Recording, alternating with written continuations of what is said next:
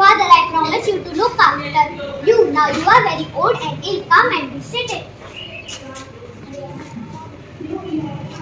Pinocchio had always hearted very hard work, but now he worked hard to take care of his father. I think I will save some money and and buy shoes for myself. Father, I'm going to the market for buying a new shoes for myself. Okay, go. Where I'm going to the market for buying a new suit for myself. Where is Kind Fairy? She is very ill. Take this two shillings and give to Kind Fairy.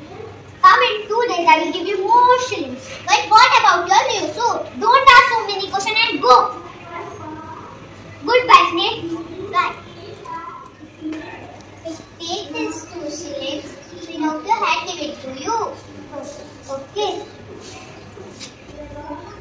When Pinocchio reached home, asked him. Where is your new suit? I didn't like anyone. Okay. That evening, Pinocchio, instead of got still and went up to midnight, he weighed 16 baskets instead of 8 baskets. Then he went to bed and fell asleep. As he slept, he had a dream. In his dream, he saw the good fairy, knight and said, Done for your kindness, I forgive you all past. Children who love their parents, they get praise and love. Be good in future and you will be happy.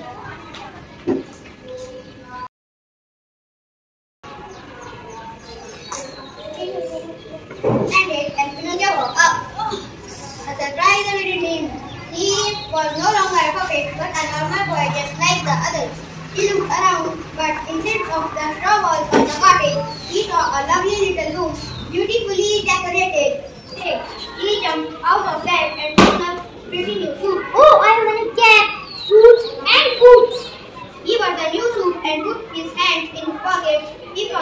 little verse, on which these words were written.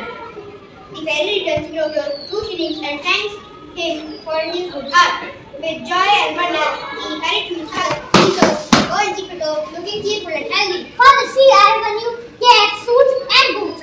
What is the meaning of this all the change? It is due to you, Pinocchio. Children who are naughty become good. Whole family becomes happy.